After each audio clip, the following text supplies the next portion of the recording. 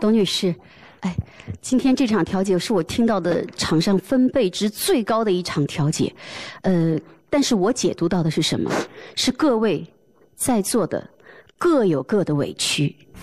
董女士，我解读到你的是弱者的委屈，它呈现出来的是一种生怕别人看不见自己，于是你把声音分贝提得格外的高，你希望所有的人都看到你，听到你的声音。然后，你把你的委屈变成了你自己去抗拒对方，甚至包括去证明自己的一种理由和武器，而这种委屈就让你变得格外的有玻璃心。比如说，嫂子说了一句说：“哎呀，今天家里怎么来这么多人呢？”你会觉得她在嫌弃我们，因为是我留他们下来吃饭的。你主动的去对号入座。你会感觉到，在不属于你的这所房子里，你会觉得寄人篱下。但是，当别人可能随口一说的时候，你会主动的去对应，感觉自己体会到了人间的人情冷暖。我们可不可以不要去格外的想保护自己，忽略了别人的一些无意、无心，包括善意？因为您心里堵着气。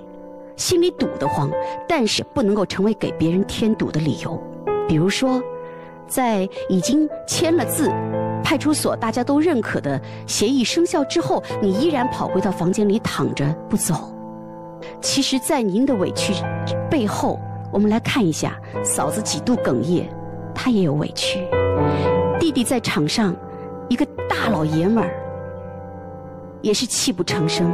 他也有他难言的委屈，所以我恳请董女士啊，真的，和家境可能比较富裕、他们家庭更为齐全的哥哥嫂子相比，你是弱者，你本应该得到更多的照顾。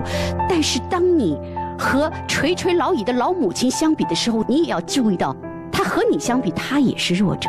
咱们也要关注到他的心绪。如果都是为母亲好的话。我们怎么样能够把精力放在让老母亲过得更顺心、安度晚年，然后把自己那颗委屈的心平复下来，不要这么奋力的去拼搏、去抗击，都是情同手足的兄弟姐妹啊。